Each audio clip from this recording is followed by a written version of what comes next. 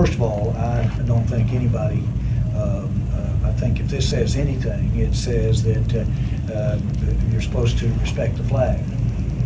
And um, we all recognize that, uh, and um, uh, I'm sure somebody's pretty disappointed that we didn't, we got away to uh, show a nation that wanted to watch how we felt about unity and a proponent of equality, and I keep saying it, and at the same time respect the flag.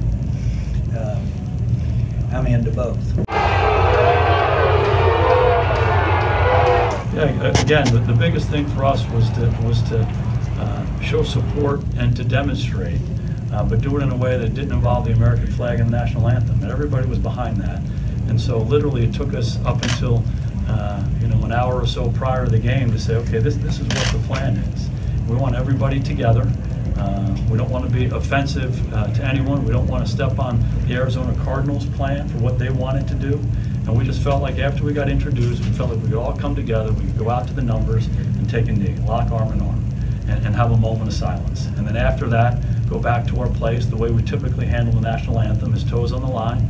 And uh, we chose today to, to lock arm in arm and, and, and be respectful of the flag, be respectful of the anthem, and everything that it represents.